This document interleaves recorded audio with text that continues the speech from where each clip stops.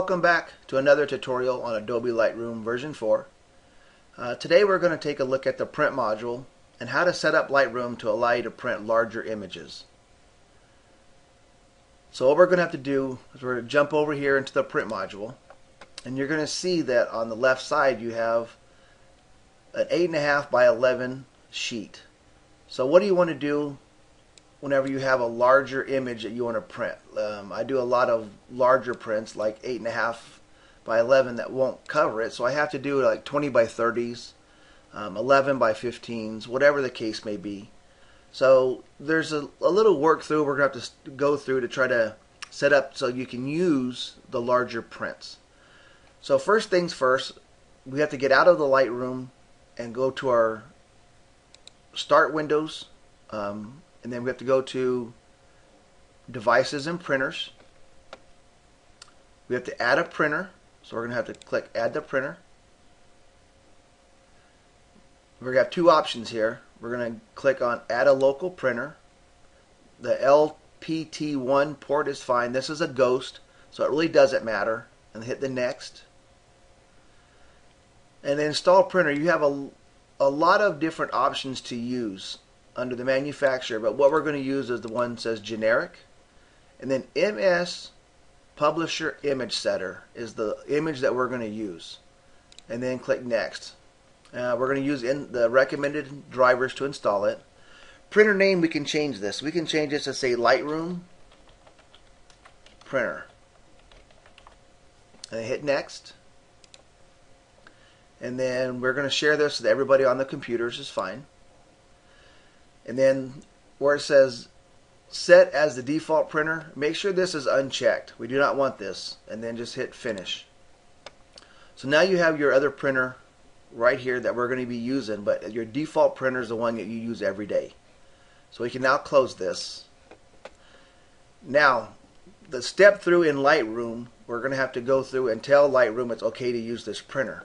And how to do that is down at the left hand corner under page setup we have to change this printer from your default printer to the one that we just made says Lightroom printer. Um, paper size, we have to change this paper size to say PostScript custom page set, uh, size. Automatic is okay for the source that we're going to use it. And then under the orientation, we're going to click landscape. We want this turned on its side. Now you have to go under the properties you can see that it does say that we're on the landscape. Page order, front to back is fine. Uh, pages per sheet is okay as one. But we here's where we have to change. We have to go into the advanced settings. Under paper size, it says PostScript custom page size. We have to click on it. It says edit custom page size. Here's your dimensions. Now we can make this anywhere from uh, one inch by one inch all the way up to 43 and a half by 34. So I'm working on a, a 20 by 30. So I'm going to change this, use the keypad to say 20 by 30. And hit OK. And then you have to hit OK to get out of the print setup. And now you can see we have a large area to work with, a 20 by 30 landscape. So now you have to build your template, and this is how to do it. Um, we're going to use one of the templates that came with Lightroom, but we're going to adjust it to our need. So what we're going to do, it's got four cells in it. So under the right side, under your uh, grids, rulers, and, and guides, we want to make sure we have the rulers checked, which is the size of the image at 20 by 30. Page grid, this will help you line the images the way that you make sure they're all exactly straight image cell, and dimensions. We want all of these checked. Page bleed we don't really need. Um, now it says grid snap. We want this to say, change this from off to say cells.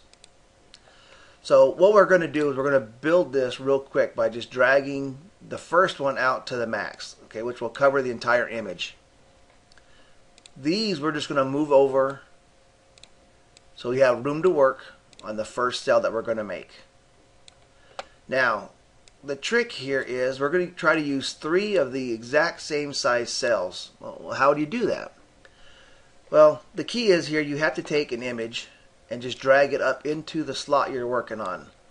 And now you're going to see your dimensions show up in the image itself.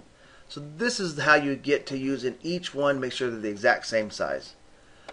So we know we're working on a 20 by 30 sheet. So we're going to try to make these all three kind of spaced out equally across the image so that we can, you know, get a good look if we wanted to use an image, let's say that you would put, you know, the front, the back, and the middle and have it look like one image that's separated by the, you know, uh, the lines that you're going to leave. So what we're going to do is we're going to take, I want to make this a little bit bigger. So I'm going to, I want this to be about 8.25 or there close to. So I just drag it from the side, will give us the dimension. And then for the height here, I want it around 18 inches. So we're just going to take and drag this to, let's say, 18.067. And we're going to place it right there. So now we want all three images or cells to be the same size. And, and this is where it gets confusing, but it's it, once you've done it once or twice, it's not that hard. So we're just going to drag another image up into the second cell. And remember, now we have the grid snap set to cells. So what you have to do to get this to fit, that all exactly the same, drag this over into this over top of this cell, and then just drag the corner up, and you'll see it'll snap to the size of the the cell itself. And when it snaps in there, you now have the exact same image or exact same size as far as the cell goes. And that's the trick. Um, without an image in there, you can't see the size to make sure they're all exactly the same. So you have to just drag it a single image up into it to get that. Okay. So same thing. Now we're going to just drag this over on top of the, the one we just created, and then just drag it up, and now we have all three sizes exactly the same. Okay. And that is the trick. So what you have to do now is it's up to you how you want to look at your workflow. Um, you can put the background color now to black. Um, you can still see the red cells, but at this point, I can normally turn off the page grid.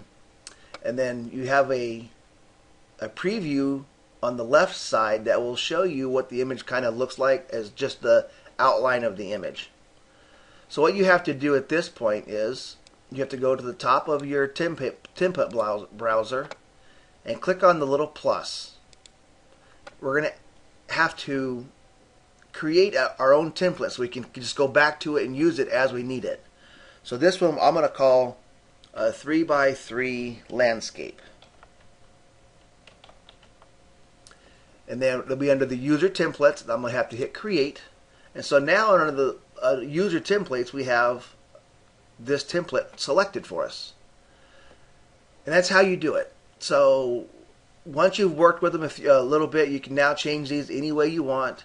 You know, start building a collection that you use for your clients or for yourself.